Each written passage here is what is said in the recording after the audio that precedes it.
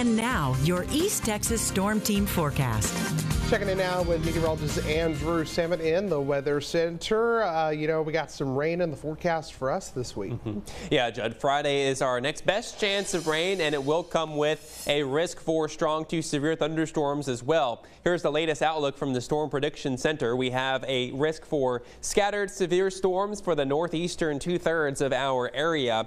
In our far northeast corner Cass, Marion counties, numerous severe thunderstorms will be a possibility. So Friday's a day we're going to watch closely. It does look like the greatest threat for severe weather, though, stays off to our north and to our east. But let's take a look at what Futurecast has going into the day on Friday. Now, Thursday night, we're going to be uh, cloudy with temperatures in the 60s, maybe a light shower towards daybreak. But as early as 7 o'clock in the morning, we could see some of the first showers and thunderstorms developing. Now, during the morning hours, not too concerned about seeing severe weather. It's not until the afternoon, though, when the storms could start to strengthen and Futurecast is showing some strengthening within these storms as they move through during the early afternoon. By noon, they're stretching from Palestine up to Jacksonville, Longview, and Linden. Again, keep in mind this is just one of the many model runs that we look at, so it may not exactly play out like this. It just gives us a good idea of the overall coverage and timing. But as we head throughout the rest of the afternoon, we'll continue to see showers and storms, and we'll have to watch areas the farther north and east you go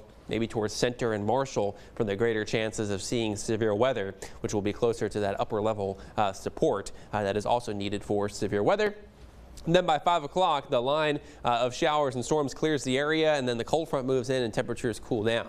Back to right now, though, we are seeing the temperatures in the low to mid 60s with even some upper 50s still in Sulphur Springs. So uh, it is a cool day overall. Temperatures are going to warm up a few more degrees from here, uh, not by a whole lot, though, because of that north wind helping to reinforce that colder air across the area. The north wind transporting that cold air from the north, and we're going to see those temperatures only climbing to the upper upper 60s out there for our day today with that north wind around 15 to 20 miles per hour. Now the winds turn back to the southeast starting tomorrow. That warms us at least back to average and then we start climbing above average through Thursday and Friday. Friday we peak at 82 degrees but then that cold front moves in and knocks down the temperature for Saturday and then we'll see another warming trend by Sunday and Monday and likely a cold front at some point again next week. Until then though, even with our 6 to 10 day temperature outlook, valid between next Sunday and next Thursday. We still look to see a good chance of above average temperatures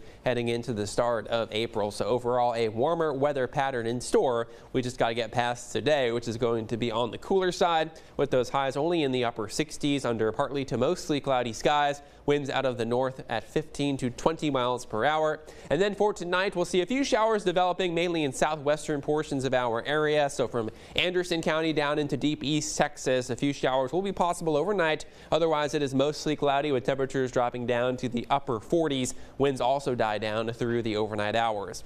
Here's a look at your seven day forecast now. We are going to see Occasional showers Wednesday and Thursday, but the best chance of rain is Friday. We'll also see a small chance of rain into next week, but the main story becomes the increasing heat. Highs in the mid 80s by the day on Monday with partly cloudy skies. For deep east Texas, a shower or two tonight and Wednesday. We're dry for Thursday, but then a better chance of storms on Friday. There is a lower threat for severe weather in deep east Texas on Friday, but still a chance nonetheless. So make sure to stay weather aware. And then by Monday of next week, things are really heating up with those highs in the mid 80s.